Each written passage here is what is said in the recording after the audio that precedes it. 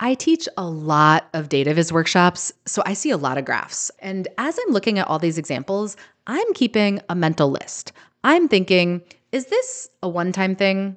I'm also thinking, is this something that I see like once in a while? And if so, if it's a once in a while challenge, it goes in a YouTube video. And if it's a, oh, tons of people struggle with this, this happens all the time, this is like a core data viz thing to learn, it goes inside an online course. Okay, so in this video, we're gonna talk about one of those once in a while graph problems that we run into, which is this.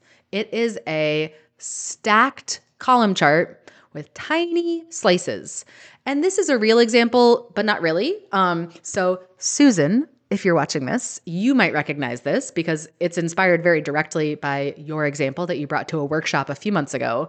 But these are not Susan's real categories.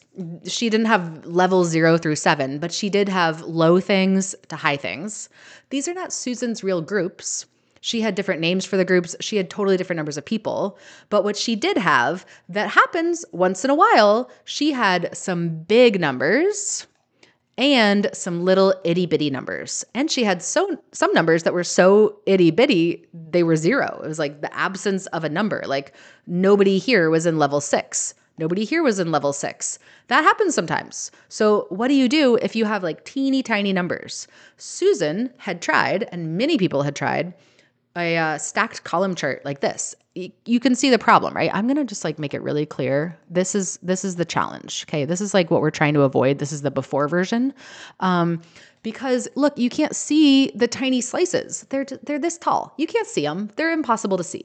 And then over here you can't see the absence of slices. Like you would need a magnifying glass to say okay that's purple and that's that and that's blue and that's that. And like are all of them there? Which ones? It just it's too much work. It's too much work. So if you have a chart with teeny tiny slices you can't stack them all on top of each other because the slices are too small or they're nothing. They're zero and there's nothing to stack and that's weird. It's like not helping people see the distribution. I'm going to show you three afters and the first one is my least favorite. It's a little bit better, but I, I don't I don't love it. I'm gonna I'm gonna I'm probably gonna red X this one. You know me, I don't love clustered charts like this. But what's better about it is you can see the little stacks. They're teeny tiny, but you can see them. You can also see the zero. For zeros, you can see like the lack of something a little bit better. This one's not formatted though. I hate that Excel does this and it puts the legend down here when like the categories should go under the bars. In all my spare time, ha, right? Ha, to spare time.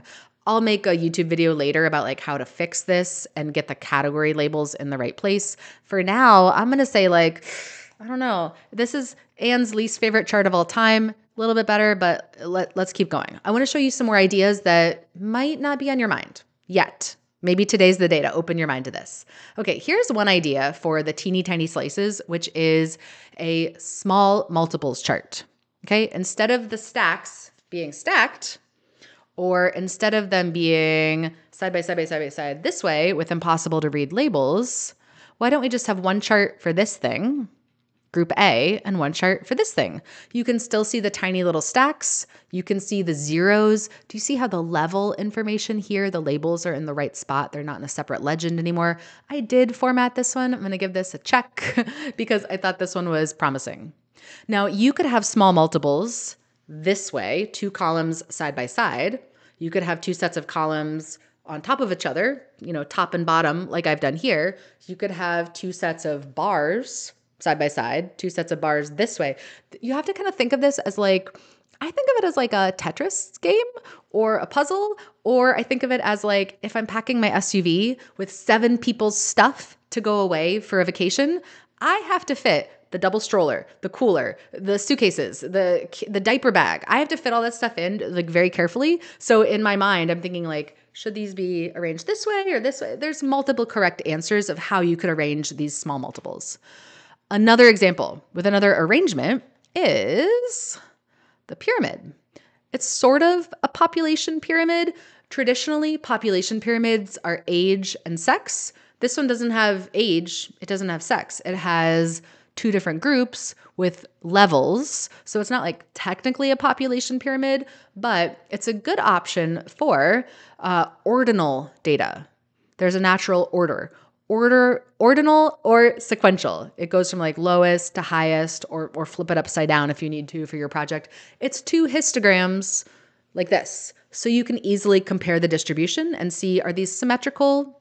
Yeah, in this pretend example, they are very symmetrical or not. You might have an or not situation in your real project. Now, these are a little bit more advanced to make. They're a non native chart. You can see I have a helper table over here with some like placeholder values right there. This one should say placeholder right there to label it for future and and for you.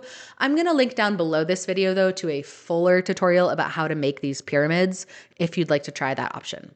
All right, let's review though. Are we all in agreement that when you have teeny tiny slices or zeros, stacked charts don't work? You need to at least have them side by side so you can see the itty bitty slices and then take it a step further. Explore different layouts. Explore like small multiples charts or explore pyramids.